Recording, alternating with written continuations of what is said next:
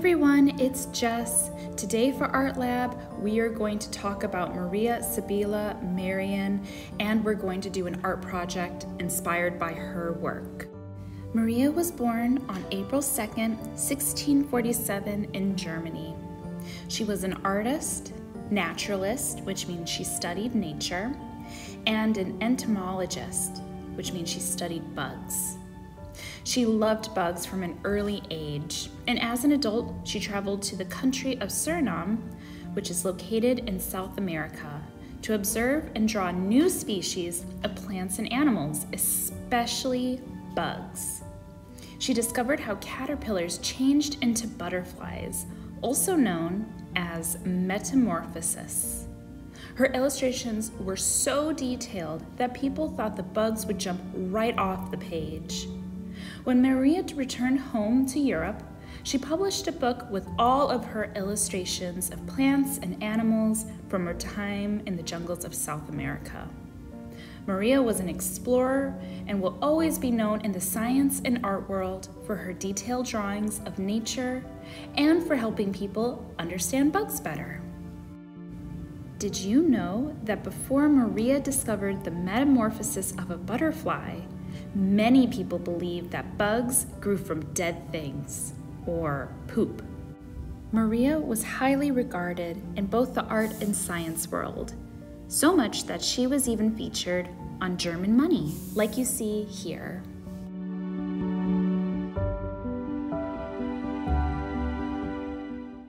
Now on to making our own art. If you picked up one of our kits, you'll notice that you have a notebook, pencil, pen, magnifying glass, and some examples of Maria's illustrations. However, if you did not get a chance to pick up a kit, all you need is some paper and either a pen or pencil to draw with. When you have your supplies, go outside and find a location to observe and draw.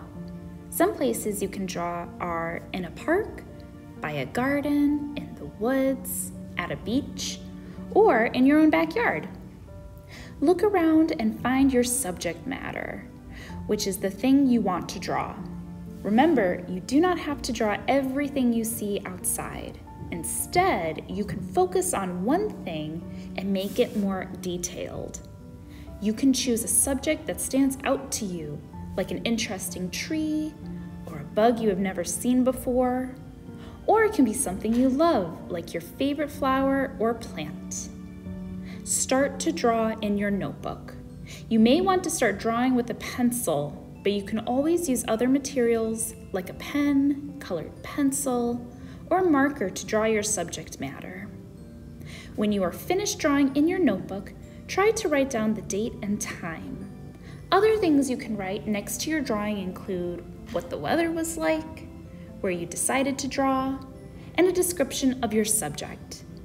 This will make looking back at your drawings more exciting. Continue to draw and write in your notebook until the pages are filled. You can also decorate the cover of your notebook to personalize it even more. Good luck on your nature drawing, and we'll see you at the next Art Lab.